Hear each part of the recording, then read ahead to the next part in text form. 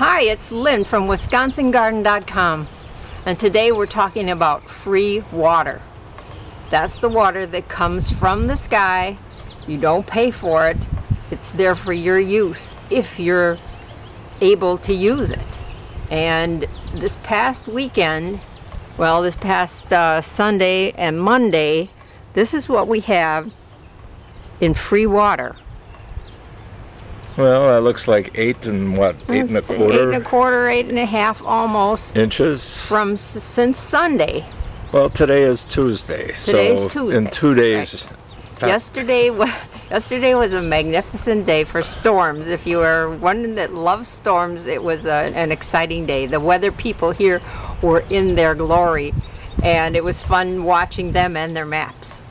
But water is a resource that we all need. We cannot live without this. And if you're growing in a garden, you obviously need it on a daily basis. If you're growing in a garden? Well, if you're growing food oh. or plants in a garden. Well, we all grow in the garden. Okay. Had to wave to my lawn guy. There so, um, what we want, what we have been doing in the past, which was a very feeble attempt, but an attempt nonetheless, is we have one rain gutter with a downspout and we've been catching water. Well, we have other downspouts. It's just yes. that this is this when is you the capture. One that's, right. This was the one that was the most accessible. So we have caught four or five gallon pails full.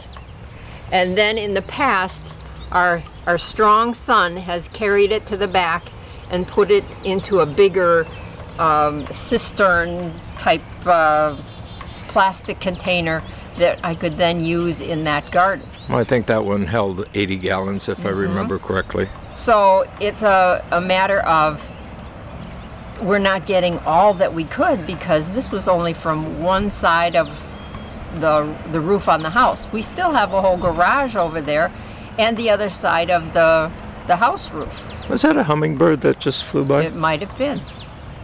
I think so. So we wanted to get more efficient and we've been looking at rain barrels for a long time and yesterday was our mission. During the rain, we decided we would go looking for rain barrels. And we looked at several places before we made our decision. Even went online. And we'd like to show you what we got.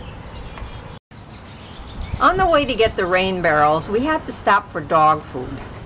And I lost Rick as we went past the opening to the garden center and woof, I woof. I commented to the lady that was coming out of there, uh-oh, I lost my husband to the garden center and she laughed.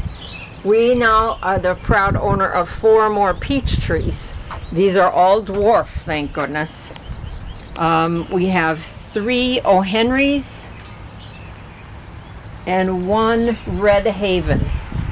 Well, you don't normally see peach trees for sale around here. No, and uh, I notice now this is a semi-dwarf this one, but the O'Henrys are are dwarf. Okay, well we'll plant that so, one. Yes, we had to uh, then peruse our yard to see where in the world we could stick four more trees. But we found places, so. Yeah, well, we planted six apple trees, actually eight apple trees this year so far, and right. why not four more peach trees? Why not? I mean, can you And go they- wrong planting a tree? They all had blossoms on them. We're not sure, you know, if they've been pollinated this year or not, and a bunch fell off when we brought them. So even if they don't have any peaches this year, which probably would be better for them, that's fine. Next year they'll be wonderful. Well, look at the winds and the storm and the hail and everything that came down yesterday. I mean, people had, I saw some that were almost as large as uh, the palm of their hand. Yes. I mean, that's some was- massive uh, hailstones. We, we were glad that we didn't have that. We had the rain. I'm glad to say we had no damage from the rain and no leakage from the rain. So Well, these trees were just full of these little pink blossoms, they were. They and there's cute. hardly any They were left like on that. them. Here's some. Here's some good ones I mean, still it's left at amazing. the bottom. Yeah. But I mean, they were were loaded. just full. Mm-hmm. So you can tell how that windstorm worked. Well, anyhow, Onto the rain barrel. Oh, and then you might as well see my Mother's Day gift from our daughter and and Scott. Those will be planted once the soil is not so soggy. But these are the rain barrels that we purchased. Now, I thought that they were thinking this would be a nice little bird bath for, for, for birds, in addition to what actually goes into the rain barrel. But now we see that that's actually a place for you to plant flowers if you want to beautify them. No, I think it's for washing your hands when you get dirty in the garden. Well, that helps too. But in Wisconsin, we have to consider there will be mosquitoes growing in here. So either we poke holes so that it goes down into there, into the bucket itself, or we have to plant something there. Well, we actually got four of these, Yes. and uh, in our next video, or next couple of videos, we'll be installing these, showing you how they're installed, how they're hooked up, and uh, we just We moved one sort of into its place.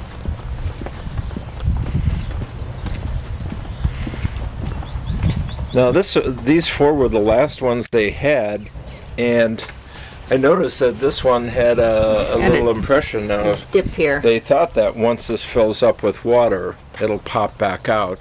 And if it doesn't, they said simply return it to us. Right. And, And know, they did give us a, a discount on it, quite a nice substantial discount, sure. discount. So was if worth it it. doesn't work, we can take it back and perhaps by then they'll have more. And then we're going to take this rain gutter and basically reroute it uh, off of this post and then direct it right into the top. Yep. It right we're there. actually going to have two rain barrels over here, but I'm not sure that I'm going to have them here. I still think we're going to move them and actually have them uh, between these two posts. Okay. And uh, it comes with a little hose, so the hose will actually come out here. And yeah, at first we thought, well, maybe we could get a drip irrigation system going that would uh, water our north beds here.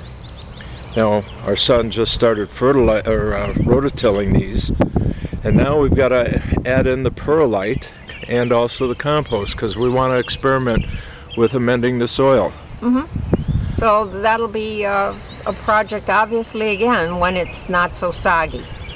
But Plus, you want to work with vertical gardens too. I do. I want to add So- some vertical gardens, but you know, today it's supposed to be in the mid 60s, and then it's going down to the 50s and 40s again. So um, it's May 13th, which means if I wanted to be really safe, I would wait until May 30th before I planted my tender plants outside. Yeah, especially And- with this strange weather. And something that we noticed yesterday was the rhubarb, which just popped up last week, already is bolting. It's going to seed. So, Let's go see oh, what that means.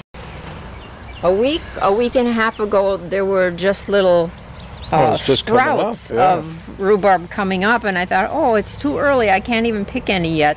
And yesterday, I look in here; it's already going to seed, and I see our asparagus has come up. Yep. See? Yeah. We planted that last year. Mm-hmm. That's Last- amazing. I mean, that is a huge, huge stalk in there. Yes. I'll be taking that out of there. Can you eat that?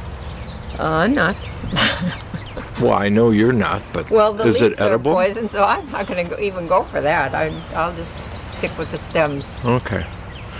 Well, as you can see, we've got a lot of free water available. I mean, everybody does. And I think, you know, the problem facing the world is water.